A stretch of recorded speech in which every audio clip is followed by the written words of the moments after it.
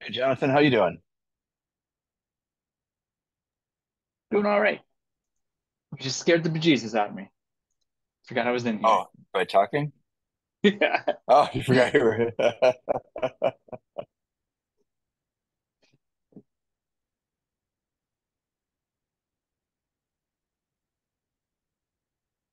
Oh, wow, this is new. The chat appears to be preserved from. Are you seeing the previous chats in the Um, chat box? uh, I am not. I think that's only for like admins. Okay, it must be just because I. Yeah, it must be because I'm logged in as CHAOSS. So while we're waiting here, I mean, I'm curious to learn a little bit more about how you like what would the date let me just ask a very technical-ish question. What would the data need to be shaped like um, if i was to give you a bunch of network data from like augur for a bunch of projects um because is it just uh is it just uh what do you call it uh node? Is it uh basically a list of node basically a pair of nodes constituting an edge is that all you need is like a list of nodes with direction Uh, that would work. We'd refactor it into what we need. Uh, but yeah, that that would work. Hello. And it's currently just a CSV sheet. hey Uh, so if dan it can come come in a s- uh, CSV, that would be fantastic. But it doesn't need to be. Uh, how are you doing, Sean? Hey dan how have you been i'm well Well, I think you, I think you up are in not. wisconsin today I'm sorry. What? I I I, thought, I think I missed the tail end of what you said. Oh, okay. I, I just I, I was thinking the last time uh, I think we were going to talk, you were not well, so that's why I wasn't. Yeah. Yeah. Oh yeah, that's right. I was yeah. Trying to think. It was two weeks ago my bike accident. Yeah, I think that was it. Yeah. I think so. Yeah. Yeah. Um, sorry. I'm gonna. I'm actually gonna go jump off and jump back on because the I think the audio is a little bit off for me. So let me see if I can fix it. Yeah. All right. It might be me. I don't know. We'll see. I mean, I could give you weights too, Jonathan. I'll give you Weights would weighted be lovely. edges. Yep. Yeah. So we don't integrate weights in uh, the Kumu map, but uh, having them will let us play Mhm. around with it in a different way. Yeah. I think um give people a few minutes to get here. Um, I guess we're it's been five after. Um, Dan, when I was talking with Jonathan about is he demonstrated some things uh, at Open Source Summit North America and in a couple of our other CHAOSS calls where he's taking a whole bunch of um, research related nodes and operationalizing them in, in ways that are very networky and dense. Um, It's Moss. Dan's actually and I on the kind of interesting. uh, steering committee for OSI. Okay. He's very well aware of Moss, Okay. which is fun. It's a Okay. small world very this space. It is. Yeah, It it is. is. Um. Yeah, I I, was and I was just uh, I was just on a call. Uh, sorry. Are we are we recording? Oh, we are recording. Uh, we're, well, are we? Oh, I guess we are. I didn't realize. I guess this meeting must be set up to automatically record. So, um, yes, all the banter has been recorded. well, I'll, It's I'll just good was, banter. uh, I was I was just on a uh, on a call that one of uh, that was talking to me about something, and and there had been a previous uh, discussion with some of the CHAOSS people about the same thing. So it was it's kind of interesting to again to see these connections happening in different places. Yeah. And I don't know if you caught the Jonathan. I think um, I can't remember which organization it was. It was the library guy. Was he at Stanford yesterday? The other person who talked in that meeting? Zach. Yeah. Yeah, they're they're us- they're using Neo4j, and I think I think some of the problems you're having visualizing networks in a performant way like that is probably solved by an or like just having the graphs stored that way. Oh yeah, definitely. Um, we've we've Like I think So though, we- I think that it will be difficult to achieve. to- Yeah, go ahead. well we, we we've got sort of a roadmap for Moss, and that beginning was just to do a proof of concept. And Kumu is a plug and play with database, so you don't need to like a CSV sheet, so you don't need to build anything intricate. Uh, but we've begun porting everything over to Neo4j, which makes things so much easier. So definitely you are right. It will it makes the performance magnitudes better. You do sacrifice some of the very cool front end features that mm, uh, Kumu has developed, which is a shame. But we're going to try and rebuild those with a uh, different application.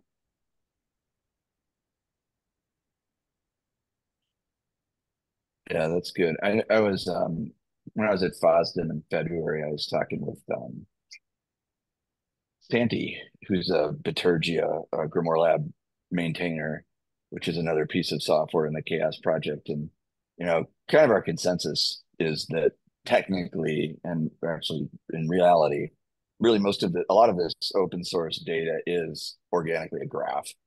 And so graph databases are going to perform much faster for a lot of tasks. However, very few people understand them and how to query them. And that is probably why a lot of us are still in a relational world. Yeah, and Neo4j is actually a good company in this regard because they have a bunch of educational content. They have a lot of webinars that help folks learn how to use it. Uh, it's just lovely. Yeah. So um, let me just, uh, I guess, formally start. Um, good, good discussion. Uh, I'd like to kind of get a sense of what what it is that, um, like Addie, glad to see you here. Um, I uh, and uh, Dan, like what what are some of the things that what are the current things that the CHAOSS Project could bring metrics or data science or stuff to the the other things that you're working on where um, we could maybe build some work around things that are important to you.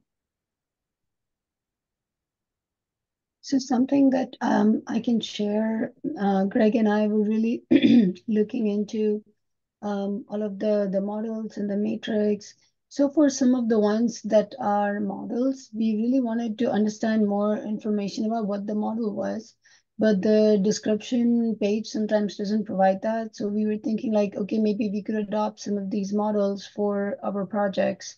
Because the main reason why we were going through that is we wanted to get some feedback for Dawn, because at some point she had really helped us get everything, uh, all of our projects into Augur.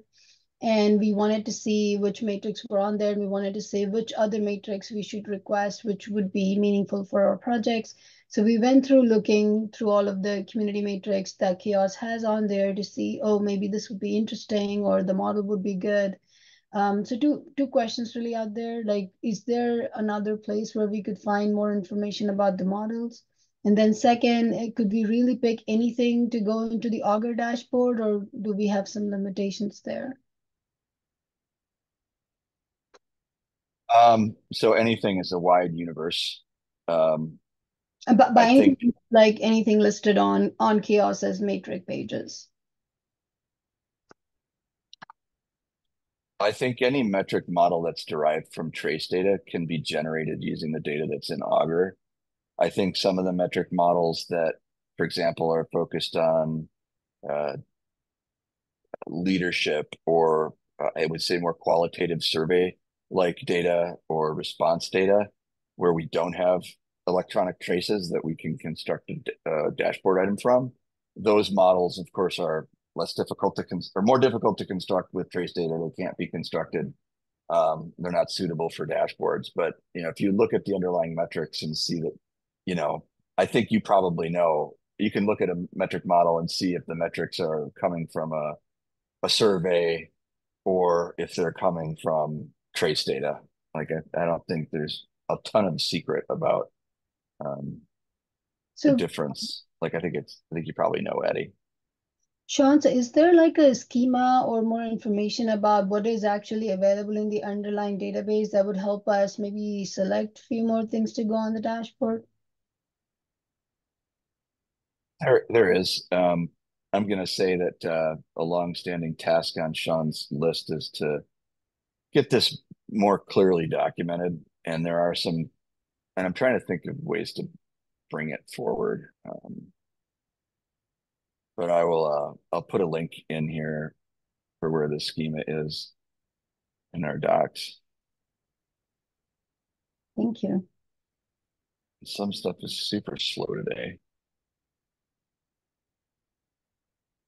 So if you go to the schema page, there's you can get the whole schema on one page, or you can look at the parts of the schema um, that exist. I think. Um, okay, sorry, I'm obviously. There we go.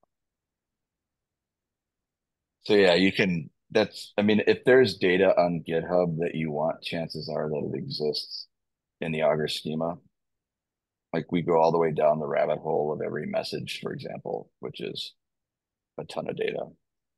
Gotcha.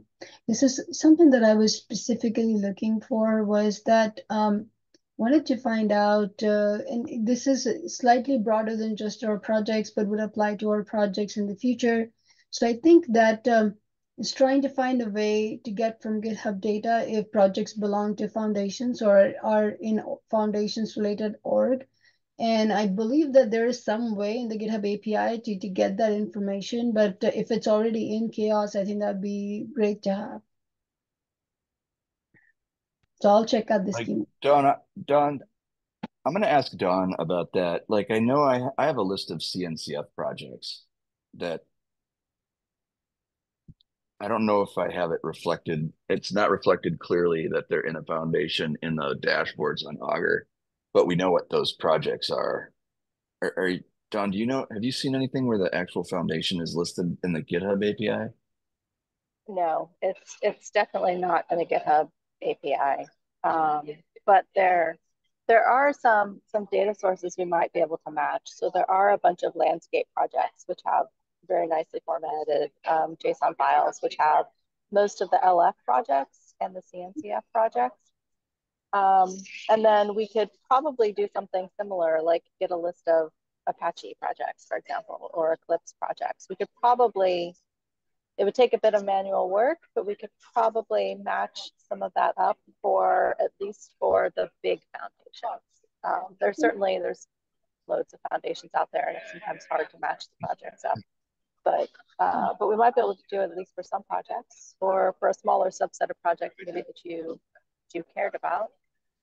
Sure, yeah. And I then I will, oh, go ahead, Addie. Because what I was hoping to do, sort of do, like the bigger idea was that uh, for some of these foundations, what do the matrix of their projects look like? So those are some example matrix for projects maybe aspiring to join the foundation. So if we knew like which projects those were, because we somehow access to some foundation mapping list, I think it'd be a nice way, a different way to go about and say, here's what others who already belong to this community are doing.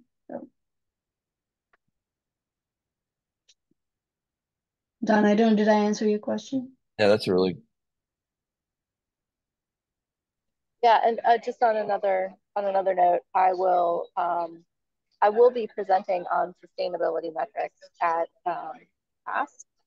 So I know Addie that you're not going to be able to make it, unfortunately, which is which is super sad. It would have been great to meet you in person. Um, yeah. But I'm hoping that uh, Greg and I can carve out some time while we're there and maybe dive into it a bit deeper than we're going to be able to during the, the mini symposium on sustainability. So hopefully we can start we can start working on on some of that as well. And then the other thing I will mention, and I've included the links to them here, we have just launched some uh, practitioner guides, which um, really do get at some of the sustainability metrics and, and how to make improvements that will impact the sustainability of your projects. Because the first the first three topics that we picked for the practitioner guides were responsiveness, contributor sustainability, and organizational participation, all of which have a big impact on sustainability. So I think uh, I think you might find some of those practitioner guides interesting to read as well. I see. So and they're more about how to interpret the metrics that you have. So it's like it's like a step pat a step past um, just finding the metrics and how do you take what you're learning from those metrics and improve your projects? Sure. So, so Dawn, I wanted to ask a question that we have gotten ourselves. Eh, can we link some of these metrics back to literature or to something else? Because people ask us, like, how do you know these are the best metrics? Why should I trust you about that? How do you go about data? That's an excellent question. I we have not done a good job of linking those back to back to research. In some cases, some of the metrics down the references section do have links to papers if if that happened to be part of either the data that we used when we were creating the metric or maybe just you know somebody somebody put that reference there i would say if if you have any references for some of the metrics that you were looking at back to the data that we can we can add those to the existing metrics. I think a lot of them, rather than coming from research data, came from those of us who've been doing this for a long time and from our personal experience, uh, which is not a good answer to your question. I know because it, it doesn't necessarily come well, from research. A lot of it came from experience. Greg and I well, had actually run over. Oh, sorry. Go for it. No, you go ahead, Eddie. So I was uh, providing some context that Greg and I had uh, were running this uh, matrix workshop at NLIT, and we had a lot of good discussion. And because mostly, you know, the the group of people that were trying to figure out this matrix are are mainly scientists. They had a lot of questions very similar to this way. So you're telling me I should be doing this. Intuitively, I don't see that, but why should I trust you? Where's the reference to this? And we were like, these are really good questions. We need to note them down and we need to to probably ask you and then also try to find out like if we are going to probably tell some scientific community users then they are generally curious where are you getting this data? Why should i trust this data? Why should i follow this practice? So i thought i'd share that feedback here. I'll, I'll guess what i will share is that the, one of the reasons i you know helped start CHAOSS and remain engaged in it is because i spent many years early in my career working around the mining software repositories community and some of the software engineering communities. And for the most part, they really don't do a great job of showing how the things that they measure connect to practice and reality. And CHAOSS approaches it more from a okay, what do practitioners need? And and then how do we shape those metrics so that they're useful and put them in context? And I think so that's one observation that that there isn't a lot of okay here's the metric. Now is it real is it useful to people? And i think the CHAOSS project because it's been very engaged with folks who actually do this work inside of companies and labs and things our, our metrics are the things that people use and that they've kind of people like don have tested over time and people like don know what to look for. Um, and there may not be a scientific paper around all of it. That's not that there shouldn't be, and that we shouldn't probably write it. Um, the the other observation that that I have here is, I think, I think there's a lot that um, when when so when people see metric when people see metrics, they want a scorecard. They want to say good, bad, medium, right? And most of the way that we've treated metrics have been uh, okay, what's your context? We provide the metrics, but we need you to interpret them for your project because there isn't an absolute here's here's some array of metrics and if you hit them your project is good. And i think you probably see that yourself addie because your question earlier about is there a list of foundations somewhere that the projects are associated with that suggests to me that you're possibly honing in on the way I kind of think anyway, which is that okay, if I can find some reference set of projects that I I know that they're in different states, then I can measure, then I can compare my projects to those projects. I can cluster my projects using those projects as training data. I babbled.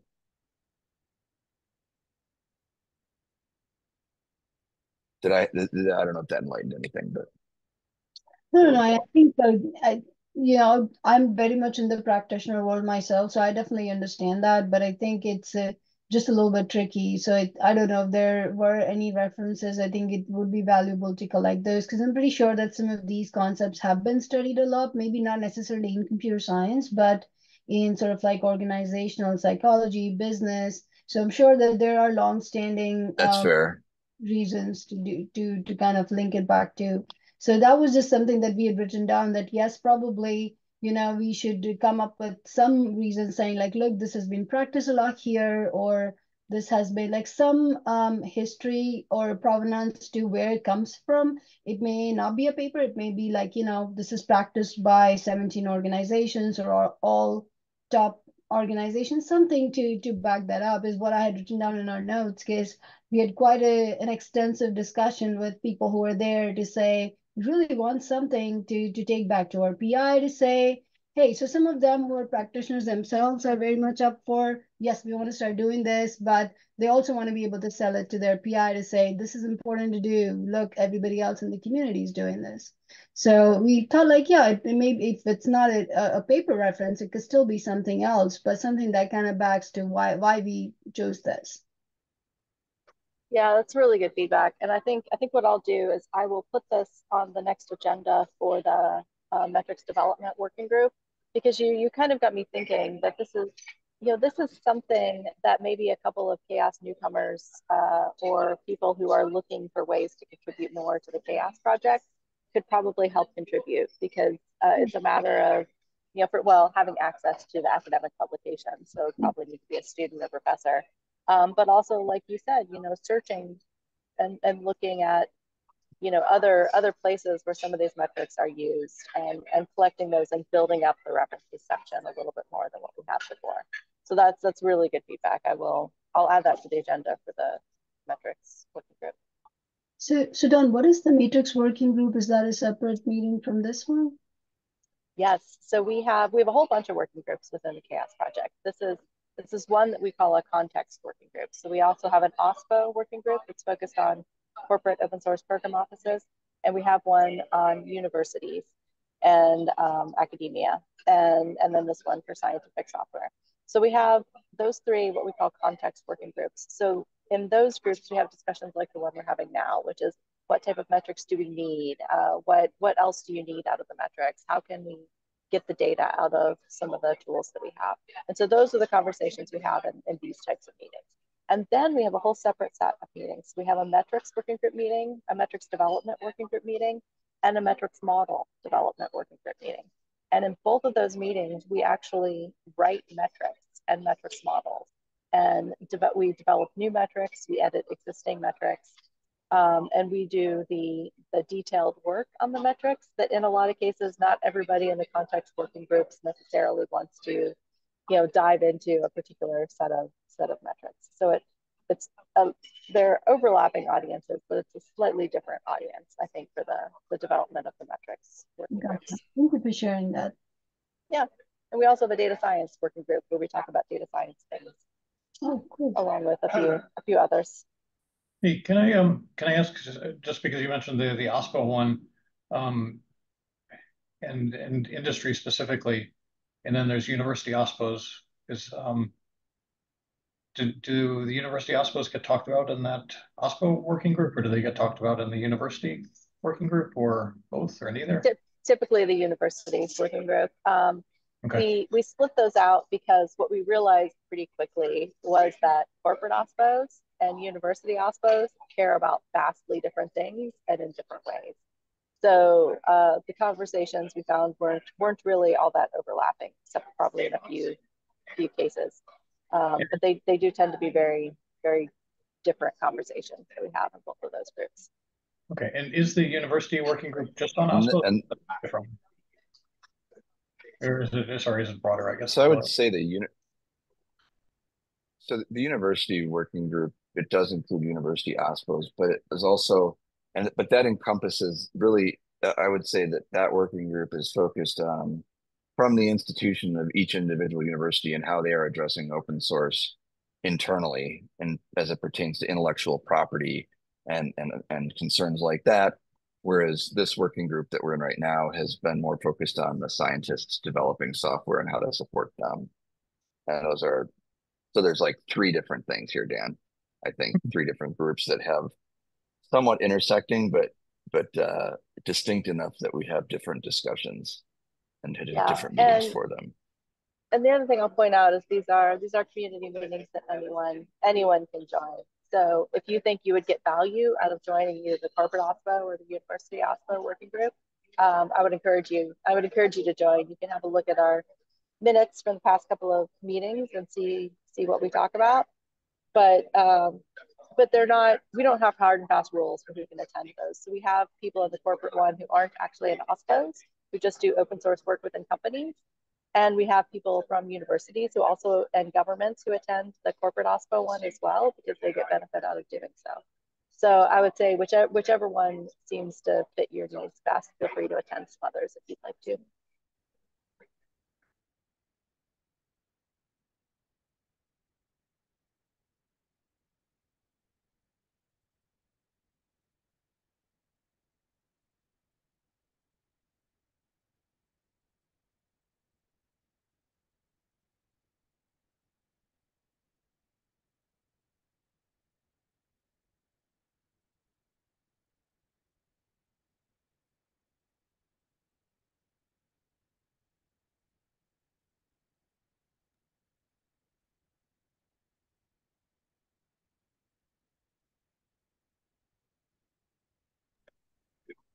It got quiet all of a sudden. Is it just are there other?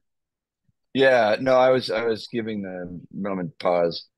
Uh, I so if if if I'm understanding right, I I think maybe having some examples of how how groups of projects like from foundations can be referenced um, as part of our discussion might be helpful.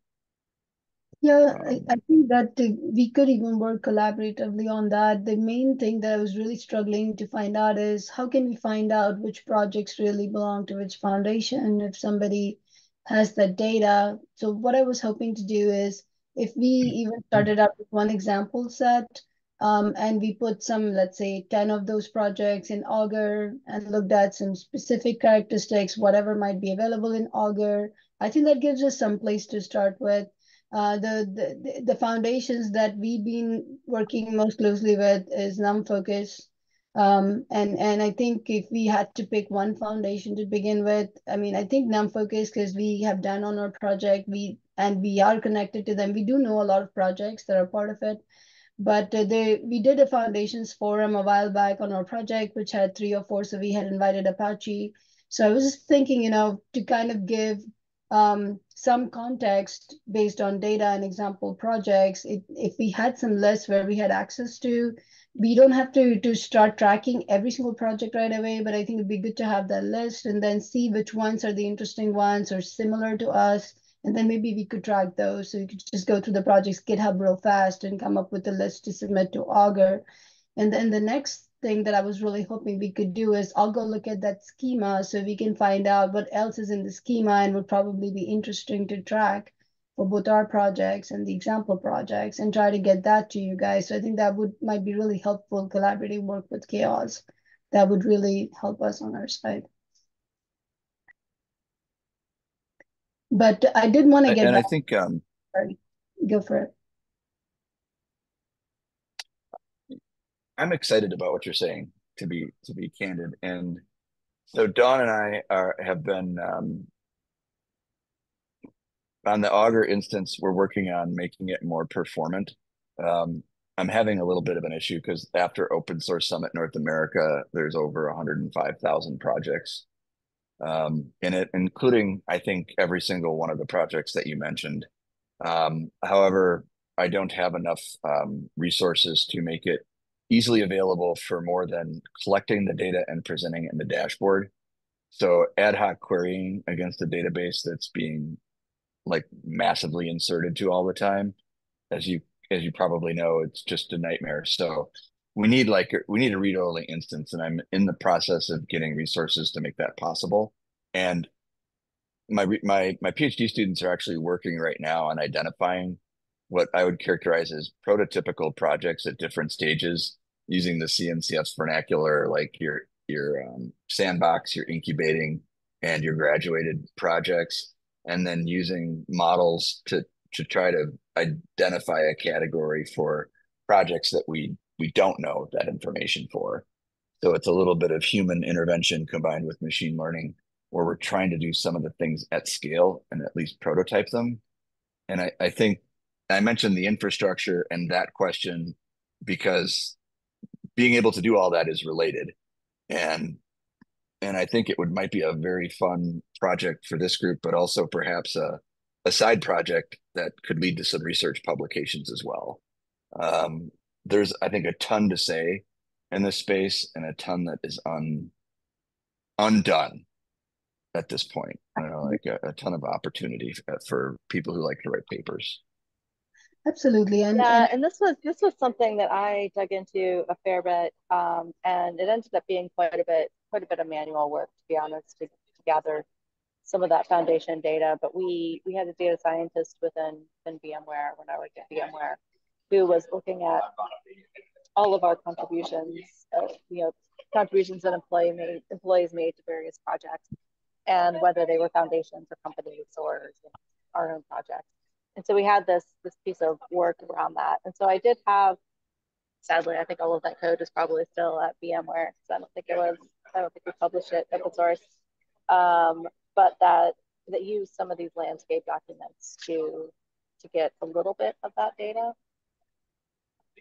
Um, but it is a really interesting problem and it does give you a really interesting insight i think into um, you know, just into some of the work and projects. So I, I really, I really like the idea. I share some of Sean's concerns about just the logistics of putting that data in Augur and being able to use it uh, right now, given all of the other other constraints that we have. Sure, so Yeah, I mean, I hopefully the. Go ahead, Eddie. Eddie's hand is up. So one thing that I think maybe probably we don't understand as well is that is Augur the name for the front end or is also the back end? Because honestly, we don't necessarily need all of the front end dashboards. We just need the data for those projects in the schema and the tables that we could possibly query.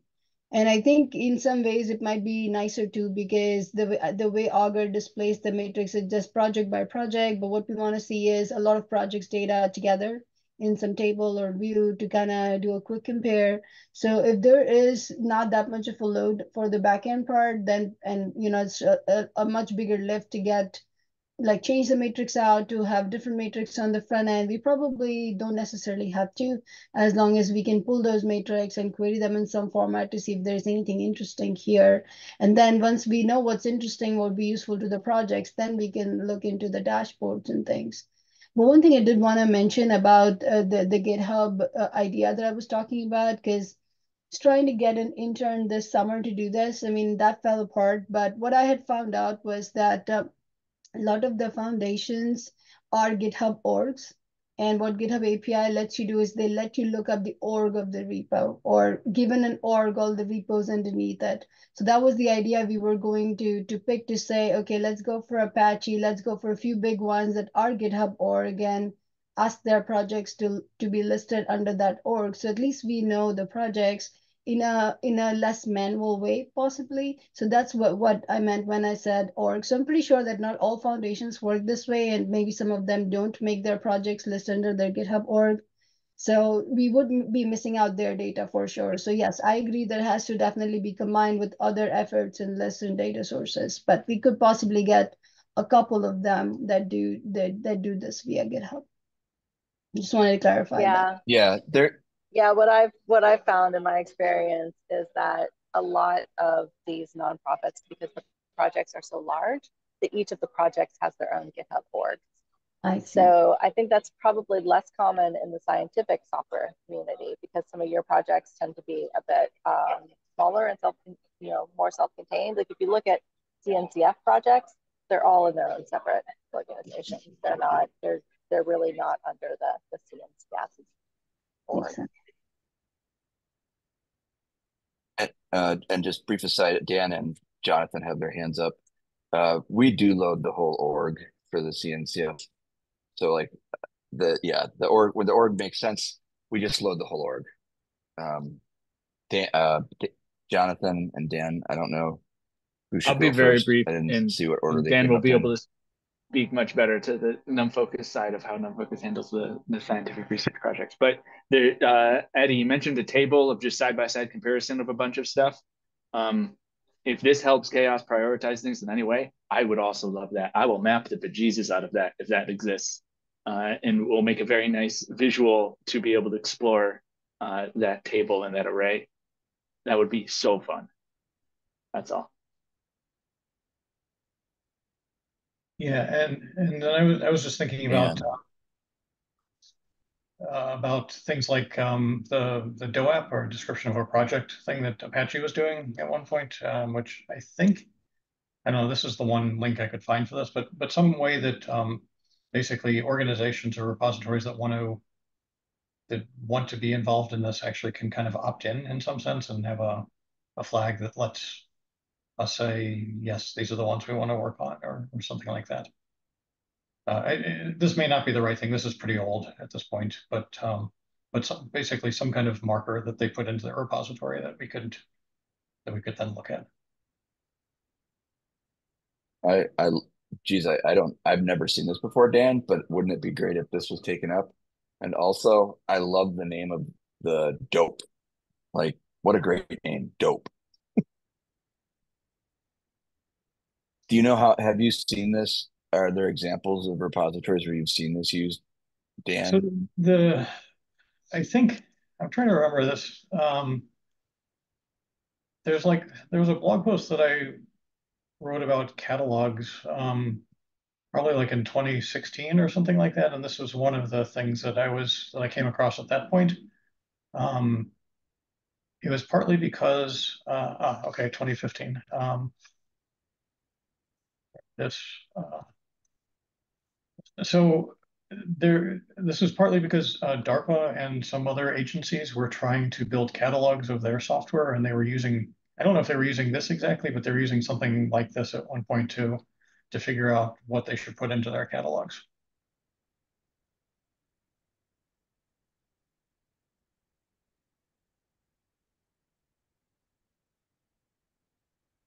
Um, I think this was actually at the time that I was at NSF. I saw the link that you sent. Yeah, I think this is when I was at NSF and I was trying to figure out how I was going to catalog the software that we were funding. Um, because we we had a catalog of grants, but the grants didn't actually necessarily tie to one repository. Um, and so there was this kind of confusion about how to manage yeah. repositories. So I don't know. I'm I'm not sure. Yeah, I know. I've uh, when I worked with about it. So then I yeah, I mean, I Mike, I've done a, Go ahead, Patty. No, no, go ahead, go ahead. It's a slightly different topic, so don't want to move away from this. I was just going to say that, like, uh, working at uh, helping CZI analyze their funded work, finding the map from what they funded to the repositories is a, a winding exercise. And I know James Howison has gone and Karthik Ram have gone through the same thing where when they're trying to map a funding stream like an NSF grant to the repositories, it's a it's an unclean mapping. Like it's not pretty, oftentimes. Just right. to reinforce your thought there, Dan. Yeah, well, and it, and I guess again, as I was thinking about this, I, I wasn't really thinking about machine learning at that point, but right, but today, right, machine learning would potentially be a way of doing this of just searching for repositories, maybe in the case of NSF that have NSF in their um, in the README and maybe have an award number or something like that and trying to do a mapping that way. But the but I guess what I was thinking was that just can we just ask the people that are funded to do some tiny bit of work that helps us do this so we don't have to do it in some kind of semi-automated way that might not be right. I think a way to right, but I, I, that would be amazing. And I think a way to get people to do that is to show the value they will receive if they do that. If I don't think we'll be able to just be like, hey, can you please do this because we want it?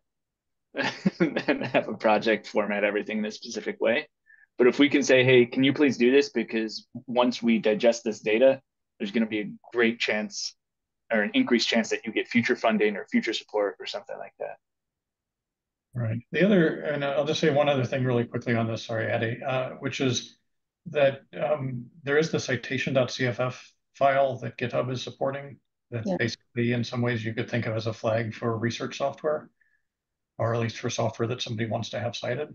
And so I guess I, I kind of wonder, I don't think that that has any kind of a funding flag in it or a organization flag, but we could think about maybe overlaying something else in that and and trying to use that as opposed to the this this DOAP, which again seems like it's more dead, where the citation files are more alive at this point.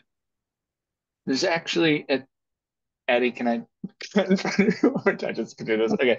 There's a there's a project that has Eddie's had a little bit had a little bit of success in getting a file uploaded to repos because they tie it directly to funding. So they're they're called drips. They're um, more in Web three, but they have a bunch of money that they just allocate to open source projects.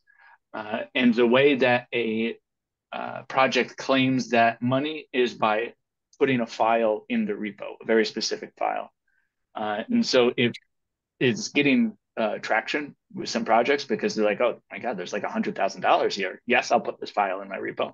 So if we can talk to projects like that, maybe, and say, hey, can you add this schema to that file as a requirement to get access to the funds that already exist behind the repo? I think we might have some some success there.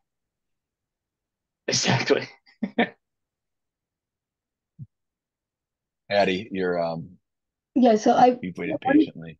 No, that's all right. I just wanted to sort of like pitch in and say that actually, uh, I don't know if some of you have met Reed, Reed Milewicz, and and myself. We are actually doing some work on this because we were so interested. So it's not out there yet. We submitted to ICSE, it's under review. But what we ended up doing is we did indeed do this search for award numbers and papers, and we also uh, basically took a whole bunch of projects and ran uh, them through Ollama and big LLM models to answer the question that, hey, do these belong to a grant? Do these belong to a foundation? Do these belong to any scientific papers to see if we can get some information, some kind of data source that is more or less accurate. I mean, uh, the LLMs will never be perfect, but we tried searching and then augmented it with, uh, with the LLMs a little bit.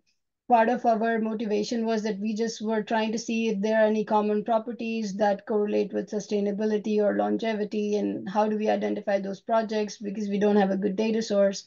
But then we went wider because we thought maybe other people could use this data source for something else. So i think it's definitely very interesting. We found that papers to code which is another big project uh, comes out of uh, Meta's AI labs. They have done a lot of this mapping in a different way. So they go to the papers, find out the artifact locations, link that GitHub repo to grants and papers. So we were able to validate um, some of ours with their information, but looks like there are a bunch of people doing this in, in relatively smaller specific areas. But I think it would definitely be be great to have some kind of um, data source, but I completely agree with Dan. The best thing would be that if the funding bodies would just say, you already tell us which papers are linked to this grant. Please tell us which software is linked to this grant, because it's just that information is not mm. available from any of the grant bodies.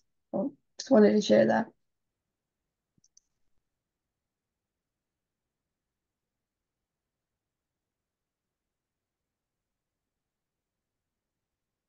I know NSF has started to support scientific open source a little bit more directly with POSE, which is a interesting program. I wonder if um, I did. It's been a while since I had to write an NSF report, but I just wonder if linking software will become more standard. Clearly, it should. So something that I wanted to get back to and discuss for a second, and I'm I'm sorry, I apologize for this. I think we just kind of went off on a tangent. Dawn, you were telling us about these new practice guides, and and I did want to hear more about them. Sorry, having a hard time finding my mute button. Um, yeah, so I'm I'm happy to chat more about those. These are these are something that uh, came out of a couple of things. They came out of a lot of the discussions we've been having in some of the working groups, like the OSPO working group, as well as the survey that I did back in August about understanding the challenges that people have with, with CHAOSS software. So um, just as a reminder, Sean, you're still sharing your screen. Okay. Um, Um, I think I'm on the right thing now. Yeah, I, Yeah, yeah. I click a link and it pops up, so. Yeah, yeah, no worries. Um, yeah, so so what we found is that one of the challenges people have with with the metrics is that there's there's so much that they don't really they don't really know where to start and they don't know what to do with it once once they have the data. So these were targeted at practitioners. So these are people who may or may not have loads of experience with data, but they're people who need to interpret what they're seeing in their metrics and be able to make improvements based on those. So these really are focused not just on, on measuring things, but what you do with that data once you have it and how do you actually use it to make your open source projects better. So that was the, the goal behind the practitioner's guide. And so we launched with the first four guides. So there's an introduction, responsiveness, contributor sustainability, and organizational participation. So those were the four guides that we launched with. We have more that are still work in progress. So we're continuing to work on them and people can propose new guides. If there's some new topic that you want to, um, uh, that you think would be interesting for us to write a practitioner guide or you want to write a practitioner guide. So they're very much a, a CHAOSS community uh, asset, both for people writing them and for, for the people consuming those. So that was, yeah, that's pretty much what I what I have about, around those. Any questions on the practitioner guides?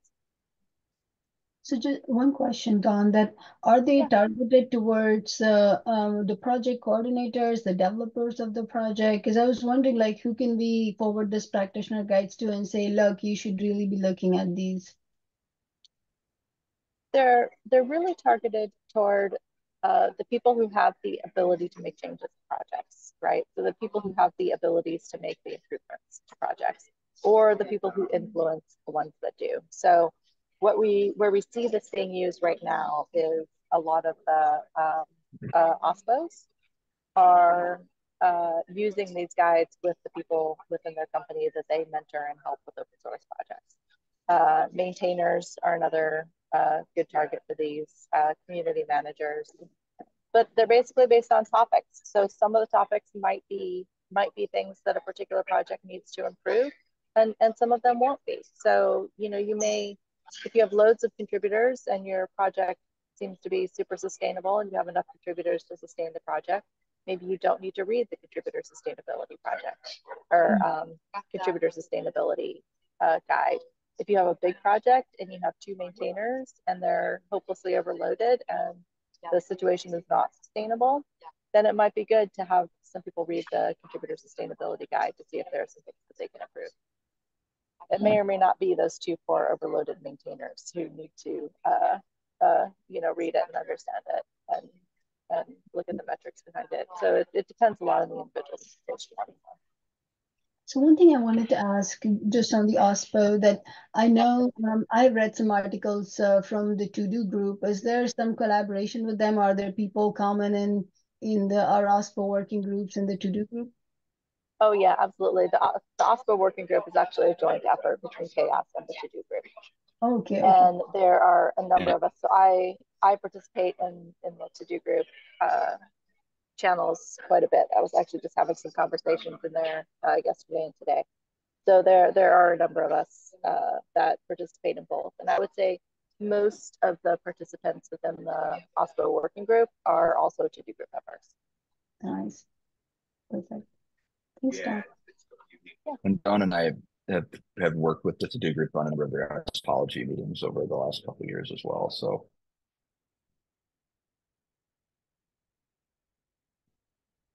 We're about at time, we're actually at time right now. Um, so for our next meeting, I won't be here. Um, so I don't know if there's anybody that wants to volunteer to coordinate, but at the meeting, two meetings from now, um, I can bring back some of the work that my group, my research, my PhD students are doing um, around finding classification schemes using uh, declared projects like CNCF stages and other things that might fit into this discussion we're having right now pretty well. Um, and other than that, I'll just create an agenda and um, is there anybody that wants to volunteer to coordinate the meeting in two weeks?